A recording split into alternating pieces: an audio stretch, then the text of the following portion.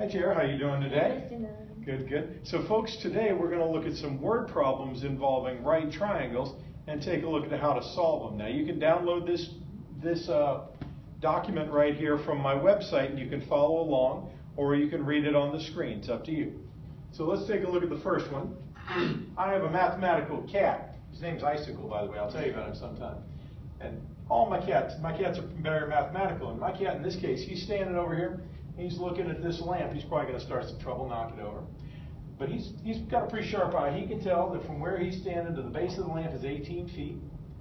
And he can tell that that angle right there is 8 degrees, and he wants to figure out how tall that lamp is. All right? So what we're going to be doing here is we're going to use sine and cosine and tangent to try and solve this. Now, taking a look at what we know right now, Tiara, I notice we know 8 degrees. Mm-hmm. All right? Now, looking at our sides, we know this side is 18 feet. Is that, so if we think about that in terms of x and y and r, would this be x, would this be y, or would this be r? X. That's x. And we want to know the height of the lamp.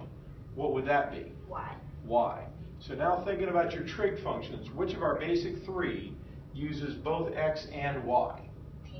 Tangent. Okay, so let's go over here and see if you can't write a tangent formula for me using the information in this problem. And I'll step back here out of your way and let you shine. Using that information. Yes. So X eighteen and then Y we don't know yet in our degrees is eight. So tan eight degrees equals Y over X. So you have tangent of 8 degrees equals y over x. So Could you fill that in more? Yes. Tan of eight would equal y, since we don't know it, and x is eighteen. Absolutely. That's pretty start off. Now, what are you trying to solve for in that? Where's your unknown in that statement? Our unknown is in y. Okay, so what are you going to do to that equation to get y by itself? Multiply each side by eighteen. All right, go for it.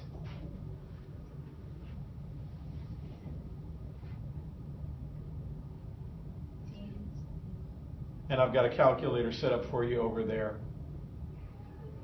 Okay.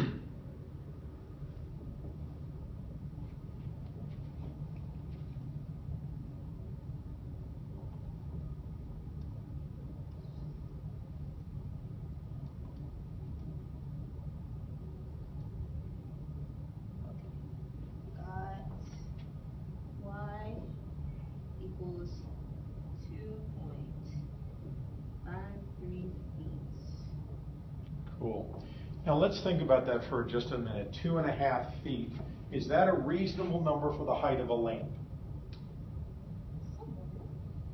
Two and a half feet, that would be about like yay. Could we imagine a lamp like this? So do we have a number that makes sense in the real world? Yes. All right, so there's our first problem. Now let's try our hand at the second one. So here's one that's got a little bit more going on. Let's take a read together. A drone flies over a North Houston neighborhood before its battery runs down and it has to land. The drone lands 480 feet east and 635 feet north of where it started. Now, folks, you know my first three rules for a word problem draw a picture, draw a picture, draw a picture. So, let's get a picture going up here. What could you show to describe this story? Okay. So I have to draw a compass for my personal. Yeah, nothing wrong with that. Oh, so it says that the drone lands 480 feet east. So this would be 480 feet, and then 635 feet north. 635 feet north. Let's say this is where it starts. So this is the drone here. Here we go. Cool. Now, I have a question for you. Yes. This path was due east and this path was due north, so what angle must you have right there? Ninety degree angle. Ah, okay, and now that you know that, let's try the first part. How far is the drone from its starting location? So what part of that picture shows us how far the drone is from where it started? This, Yeah, the radius, absolutely, the radius.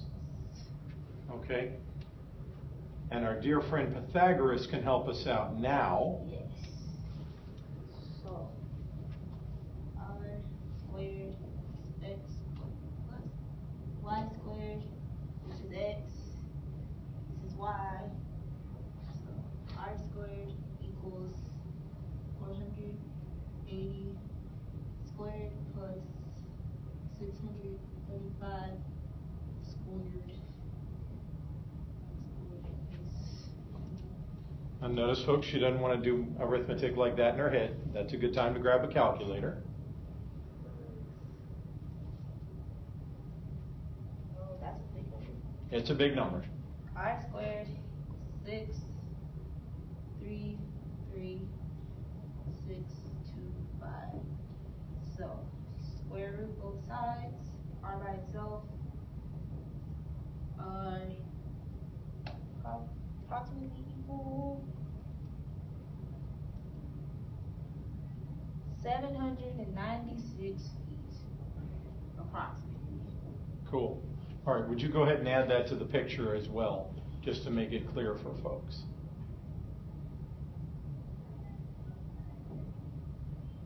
Cool. All right, so there's part A, folks.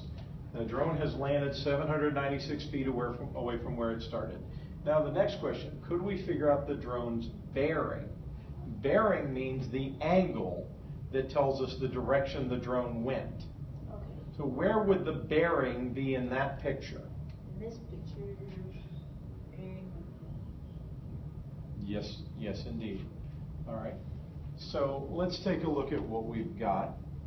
We were given x and y, and we're trying to find the angle. Which trig function are we going to want? tangent. We got another tangent, folks. All right, so go for it. Is it okay if I? Oh, I think you can erase that. Okay. Okay, so ten y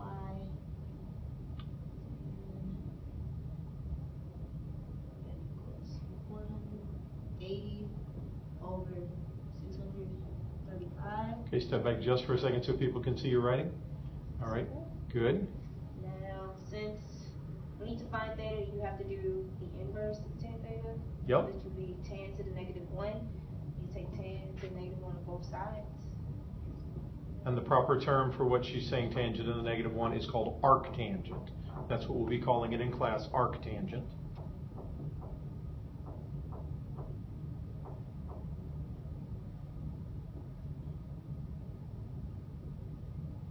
Okay, Now, what happens on the left? these cancel. Uh, theta equal tan uh, to the negative one, arctan of four eighty. This supposed to be y, y over x.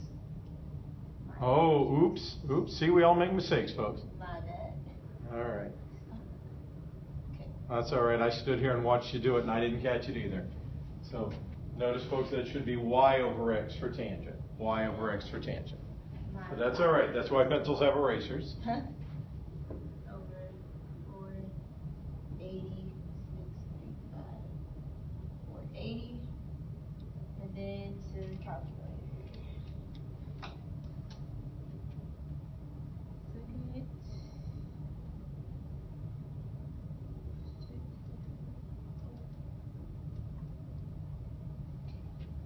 And theta should equal approximately fifty-two point nine Is that radians or is that degrees? degrees. Degrees. Okay. So, folks, we now know that this drone flew a distance of 796 feet, and the angle, the direction that it traveled, was 52.9 degrees north of east along that path.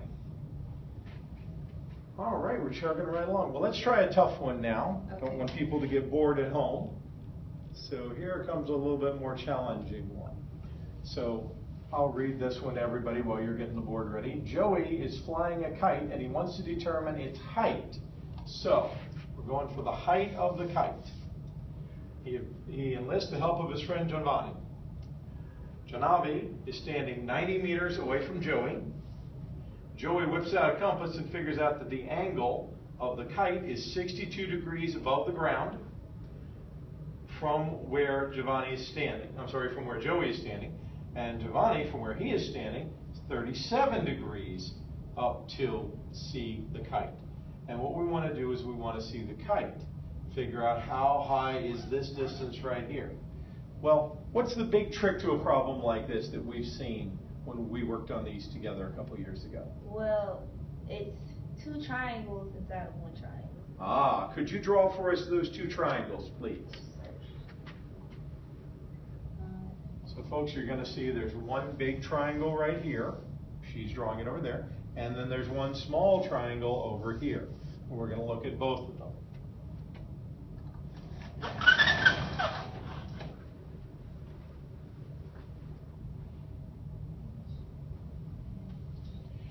Just gonna label this one to match what you've done. Notice folks, she's labeled this side, how high up the kite is H, and she's labeled this little piece right here. From Joey over to directly underneath the kite, she labeled that X. So that means on the bigger triangle, from John Navi to the, right underneath the kite, that's 90 add X. From Joey to just underneath the kite is just X. And in both cases, the triangle has a height of H. All right, now folks, what we're gonna do is we're gonna write a formula for each of those triangles now. All right, and again, folks, you'll notice we know the up and down side Y, and we know the base X, so we're talking tangent again. Okay, so for the first triangle, would have tan of thirty-seven degrees equals H over ninety. Ninety plus X. Cool. Now, if you would, just to give everybody plenty of room, let's go ahead and put the formula for the other triangle over here again. Okay. So for the other formula, we have tan sixty-two equals H over X. Good. Now, the trick to this problem is we gotta figure out a way to get these two equations together. And there are a couple of things we share. They both say tangent, but that's not quite shared, because that equation over there is tangent of thirty-seven degrees. This equation over here is tangent of sixty-two degrees. But they both have an H sitting up top by its lonesome in the numerator. And that's not too hard to get it by itself. So in order to get the H by itself on both equations, will multiply out the denominator on both sides. So for this equation, we multiply by ninety X, these will cancel, and then ninety plus X. And then for this equation, we multiply by X on both sides. Cool. So now notice, we have ninety plus x multiplied by tangent of thirty-seven equals h. And we also have x multiplied by tangent of sixty-two equals h. So since both of those formulas are equal to h, we can say they're equal to each other, because they're both equal to the same thing. So this formula on the left equals h. This formula on the right equals h. Since they're both equal to the same thing, they got to be equal to each other. So now we can say that 90 plus x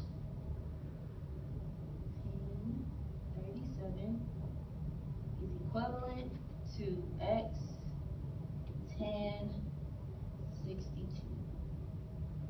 Cool. Now, if you go to your calculator, tangent of 37 is a number. So we're going to go to the calculator, find that number. And similarly, tangent of 62 is a number. So we're going to go calculator, we're going to find that number. So we now have x plus 90 times, and what is the tangent of 37, TT? 0.754. Okay, so we have 90 plus x X. multiplied by 0.754.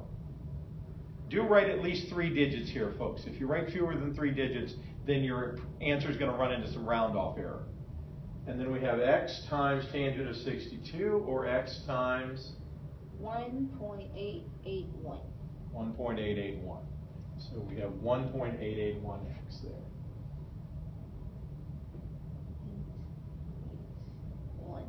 Cool. All right. So now we're getting into a bit of algebra one. The numbers are messy, but everything we're going to do from here on out is actually just plain old algebra one. We're going to distribute the 0.754 over here. So that 0.754 goes to the 90 and it goes to the x. And then we're also going to multiply the 1.881 together with the x right there. And so what do you get, ma'am? So when you distribute the 0.754, you get 67.86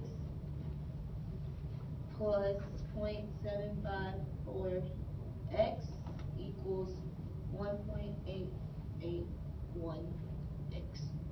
Awesome. Now, if you were back in Algebra 1 and you had to solve that equation for x, what would you do next? Subtract 0.754 from both sides to get x on the same side. Cool.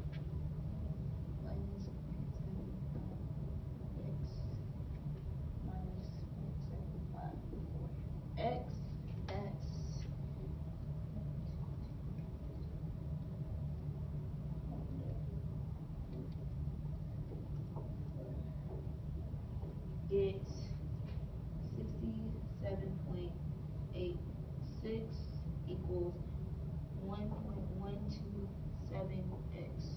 Oh, and we're so close. What's left to get x?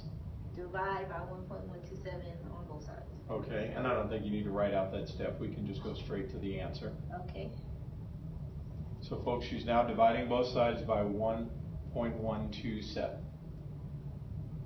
And right over x equals 60.2 And what are our units of measure there? meters. meters. Okay, so folks, here's what she has found. We now know this piece right here, from Joey's feet to directly underneath the kite, is a distance of 60.213 meters. So now we know the entire base of both triangles. If we take that number by itself, that's the base of Joey's triangle, which was this smaller triangle here on the right, or if we add that number to 90, then we get the total length of the base for uh, Janabi. So now, we're not done though, because what do we still really want to find in this problem? The height We want to find the height of the kite. Now, I noticed that earlier on, we did two formulas working out the height. Earlier on, you told me that the height was 90 plus x times tangent of 37, and of course, we know what x is now. Mhm. Or that the height was x times the tangent of 62. Now, if you were picking between those two, which one would you want to plug into? The one with just x. Ah, okay. So I'm going to go ahead and erase the rest of this to give you some room to work. But we've already videoed that, and I've already put that information into the picture. And now you're going to try plugging x in. So that's sixty point one. Uh, 60.213 meters. Two, one, three meters times tan, sixty-two. H, Absolutely. so sixty point two. So from this, the height would equal one, one, three point two, four, four meters. And if we do a little significant figures here, I notice that we really only rounded to the nearest whole number. So if we round that, I could say that that is roughly 113 meters up, yes? Yes, sir. Now, at heart, it should not matter which of these two equations for h we used. We might get a slightly different answer if we were to plug in, because we did round these numbers off. So we might get a slightly different answer. And just to show you folks that that works, we're now going to go ahead and try the other one as well.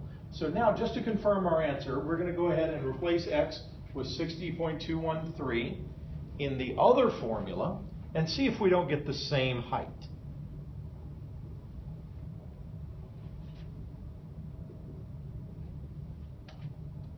So she's plugged in 60.213. Now we're taking it to the calculator. 90 plus 60.213 in parentheses multiplied by tangent of 37. And what did you get? 113.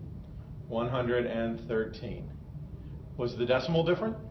A bit, it was 113.194. Ah, so over here we got 113.2. Over there you got 113.19, but 19 rounds up to 2. So we have almost exactly the same answer both ways. And so now we can definitely say that the kite is right at 113 meters above the ground, whether we look from John Avi's point of view or we look from Joey's point of view, we're getting basically the same height. So what this video was meant to focus on was how do you use the sides of a right triangle to measure things that you can't otherwise get to. For instance, when we talked about my cat, well, I'm not going to let my cat go mess with the lamp to figure out how tall it is, but he's curious. He wants to know how tall it is. When we talked about the probe, we want to know how far did that drone fly, but maybe that drone flew over some buildings. Maybe that drone flew over a pond. But we can still figure out how far it went by knowing how far east and west. And now, well, we don't have any way to climb up a ladder to get to that kite, but just from some measurements on the ground, we can figure out how high the kite is. And now, folks, it's your turn.